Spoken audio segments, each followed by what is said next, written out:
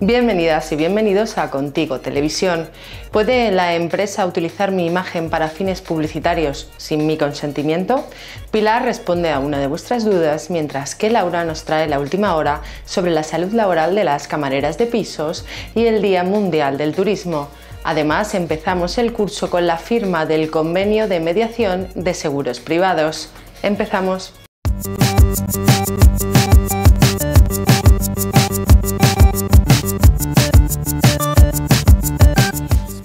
WITA ha realizado a lo largo de 2015 un estudio sobre la salud laboral del colectivo de camareras de piso.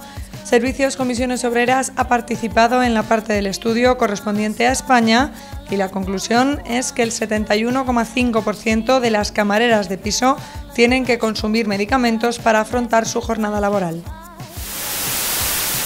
Comisiones Obreras y UGT quieren convertir el 27 de septiembre, Día Mundial del Turismo, en una jornada de lucha.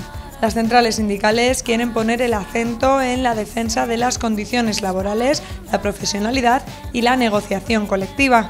Y es que una industria en alza como la turística arroja cifras alarmantes de precariedad y temporalidad laboral.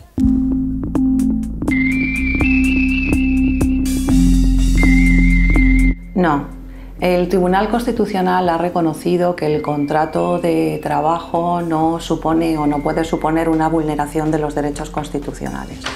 El derecho a la imagen, a la propia imagen, es una facultad exclusiva de la persona y por tanto es ella quien puede decidir eh, dónde pone su imagen y dónde no la pone.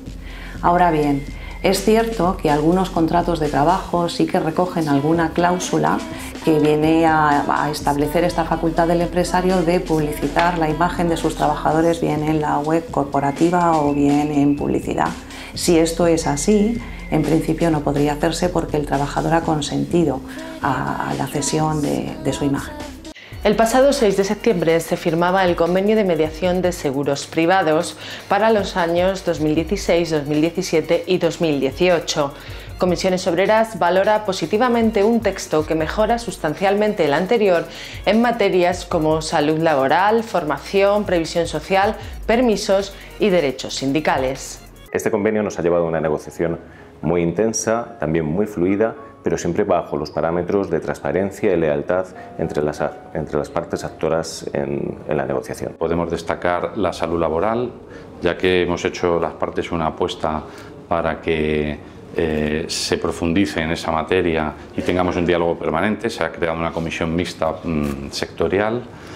Eh, también muy importante el tema de formación porque ha habido cambios legislativos y hemos adaptado el texto del convenio eh, dotándonos de más potestad las partes en materia formativa para, para, las empresas del sector. Lo que más ilusión me hace de este convenio, o lo que para mí puede ser más importante, es que hemos conseguido hacer una revisión de todo el lenguaje eh, en el que estaba redactado el convenio para incluir una perspectiva de género.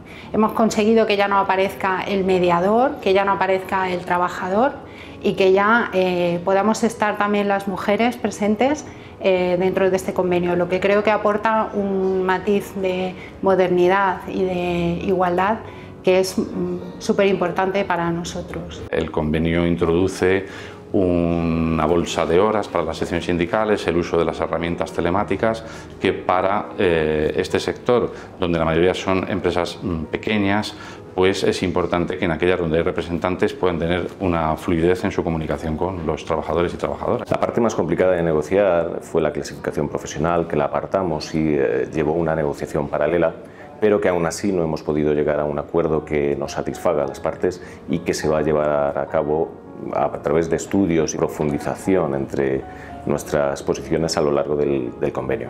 Hay una tabla salarial eh, variable adicional a, los incrementos fijos que hemos pactado que va en función de los eh, ingresos que, que tengan las empresas y hemos logrado también actualizar todos los eh, capítulos extrasalariales, dietas, kilometraje, el seguro de vida, el capital de seguro de vida, las compensaciones en los casos de traslado cuando hay movilidad geográfica. Los convenios los firma un representante de cada parte, pero son el producto del trabajo y el esfuerzo de muchísimas personas.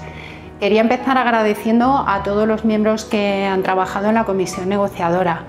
Quería agradecer también especialmente a Fernando y a Eduardo, a mis compañeros, por los desvelos, las horas de trabajo incansable e infatigable que le han dedicado. Y por último, quería agradecer a los anteriores compañeros que han firmado convenios más antiguos, me refiero a Pedro Martínez y a Manuel Jaraba, por haber sentado las bases y haber puesto los cimientos para que hoy hayamos podido llegar a este acuerdo. Gracias Manuel y gracias Pedro. Y hasta aquí hemos llegado. Volvemos en una semana. Mientras tanto, ¿por qué no empezar septiembre con buen pie? Entra en el canal YouTube de Servicios Comisiones Obreras y suscríbete. Recibirás las novedades antes que nadie.